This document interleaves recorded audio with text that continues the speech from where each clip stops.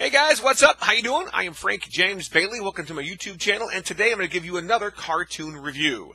Today I'm going to cover a cartoon on Cartoon Network, and that cartoon is OK KO. All right, how long do I have to stay in this position for the thumbnail? How about we start the intro right now?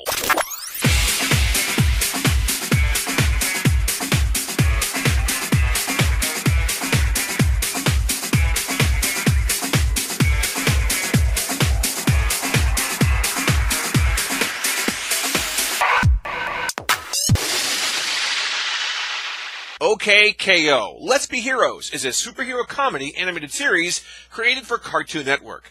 It's based off an original pilot called Lakewood Plaza Turbo originally aired May 21st, 2013. The star of the show is, of course, KO. He wants to become the greatest superhero. He also works at Gar's Bodega, a superhero supply shop located at Lakewood Plaza Turbo, owned by Mr. Gar, a serious, dedicated manager. Alongside KO are his two best friends and co-workers, Enid and Rad. Even though the show is called OK KO because the show is about KO, I think Enid is probably the breakout star of the show. She is most responsible of the main trio, even though she is kind of lazy. She tries to use logic and critical thinking to make her rational decisions. In case I didn't mention yet, she's also a witch. And it's never said, but it's implied that she's probably bisexual. And I say this because, one, her hair is purple like the bisexual flag, and she used to have a thing for Rad. Also, her and her childhood friend well, they may or may not have had a thing, or maybe they're just best friends. Anyway, Enid is one of the best characters on the show. The other main character besides OK is Radicles, or everybody just calls him Rad. He appears to be boastful and a slacker. Even before getting his very physical, bulky physique,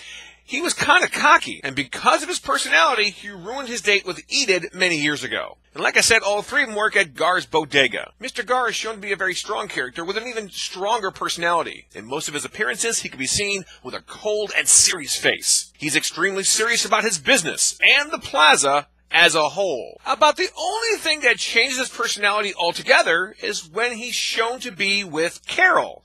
Now, who's Carol?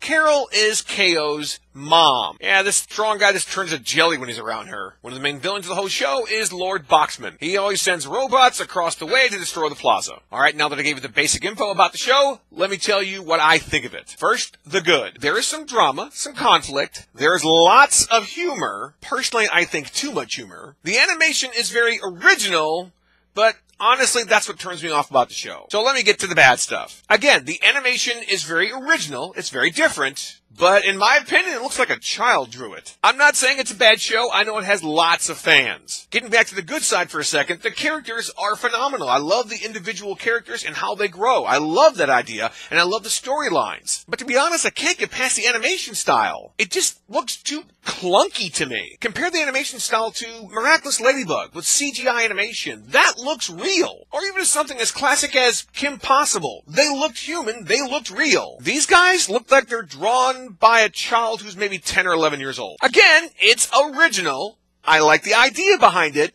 It just looks too I don't know, clunky to me. Alright, enough rambling about what I don't like about it. Let's get on to the score. On a scale of 1 to 10, 1 being the worst, 10 being the best, I give OK a 5. Please, if you like the show, don't be hating on me and putting in the comments, oh my god, you only gave it a five, blah, blah, blah. Again, this is my humble opinion. It's just not for me. Like I said, I love the idea behind it. It's just the animation style is really hard for me to grasp. And the other thing is, I've only seen half of the first season. I haven't seen any of the second season yet. So maybe I'll change my mind somewhere down the road. But as of right now, I'm only giving it a five. If you like this video, or if you're a big fan of OKKO, please give this video a big thumbs up. I'd really appreciate it. Plus, if you really like the show, or if you don't like the show for some reason, please leave your comments in the comments section below the video. Let's talk about OKKO Let's Be Heroes. I'd love to hear from you. That's all for this week. Thanks a lot for watching my video. I'll talk to you next week with another cartoon review. That's all. Bye bye.